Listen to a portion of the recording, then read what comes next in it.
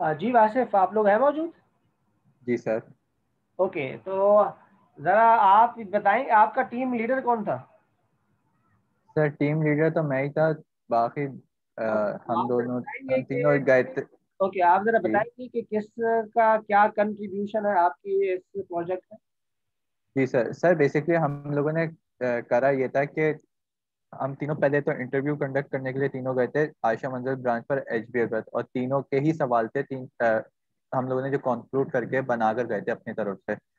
तो यही सवाल फिर हम लोगों ने ना एच आर उनके जो मैनेजर थे उनसे हमने पूछा था तो उनके जो रिप्लाईज थे वो हमने आप लोगों के फिर से शेयर करे आपसे। लड़के ब्रांच में कौन सा एचआर मैनेजर होता sir branch manager sorry branch manager थे जो कि सर सर निशान थे जिनसे हम लोगों ने इंटरव्यू कंडक्ट किया है। अच्छा ब्रांच मैनेजर से आपने किया? जी सर। अच्छा ठीक है। फिर उसके बाद उनसे ही हमने एचआर के रोल्स भी पता करे थे कि अगर आप आपके इधर की जो हायरिंग प्रोसेस क्या है किस तरीके से आप किस बेसिस पर हायर करते हैं। आपका तो जो टॉपिक था वो ऑर्गेनाइजिंग था ना?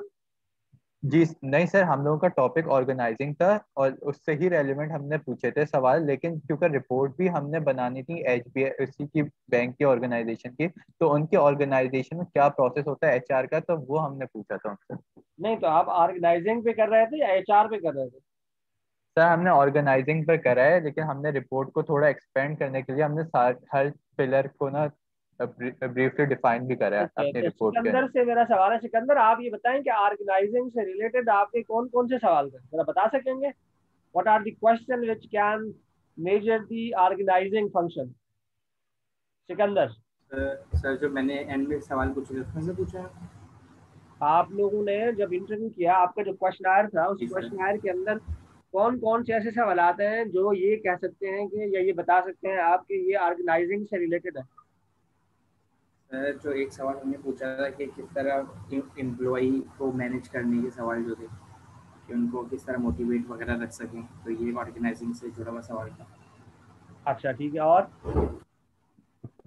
और उसके बाद गोल्स वगैरह किस तरह एज ए टीम सेट कर सकते हैं और फेलियर को किस तरह टैकल कर सकते हैं ये ऑर्गेनाइजिंग से एक जुड़ा हुआ सवाल था। और ये तो आर ये तो प्लानिंग से रिलेटेड है सवाल जो आप बोल रहे हैं।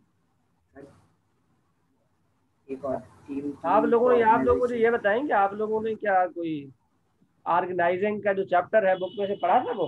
क्वेश्चन बनाने से पहले।